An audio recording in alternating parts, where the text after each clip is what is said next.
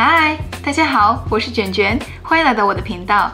今天呢，我要来制作江苏如皋的林子潮糕。林子潮糕呢，其实就是桂花米糕，它是由桂花、粳米粉、糯米粉、糖蒸制而成。这是它的表层，可以看到表层刀切纹路非常的清晰。这是底层，可以清晰的看到桂花。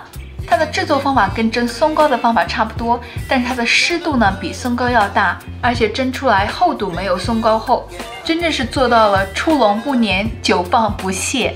我今天在家里其实是做了两块，这一块呢上面放的桂花要多一点，这一块呢上面表层我没有放多余的桂花。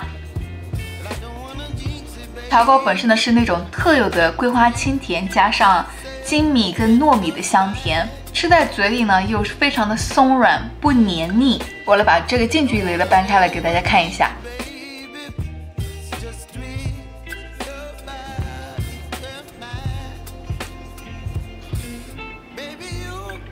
刚蒸出来的潮糕其实是最好吃的。如果放凉之后，大家可以选择微波炉加热或者再复蒸的方法。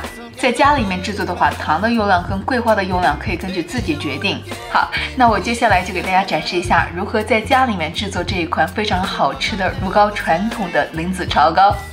我们需要一百八十克的糯米粉，一百八十克的黏米粉，八十克的白糖、干桂花、凉水。先把干性材料过筛，加入米粉、白糖。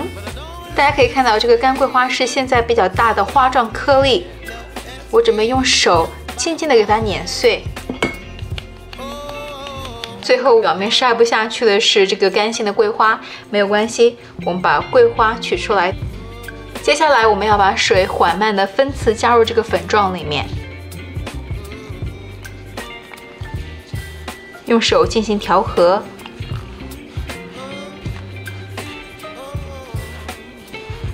然后对它进行揉搓，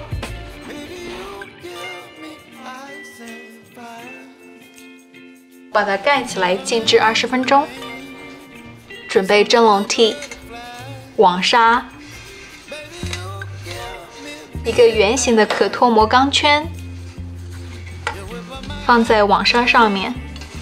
接下来呢，我们准备筛粉，这是一个非常考验耐心的环节。借助手的力量进行筛粉，我们用刮刀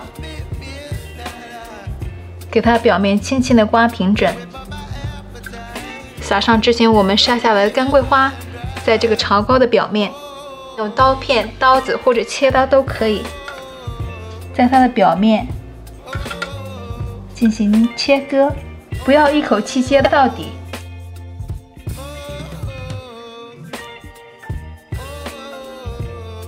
我们就把它放在已经烧好的热开水蒸锅当中蒸十分钟，中火蒸了十分钟之后关火，先不要打开它，让它再焖十五分钟左右。焖了十五分钟之后，我们开锅，扑面而来的桂花香。用一个擀面杖蘸一些红色的食物染色剂，给它表面戳几个红色的圈圈。稍微放凉之后呢，我们来给它脱模。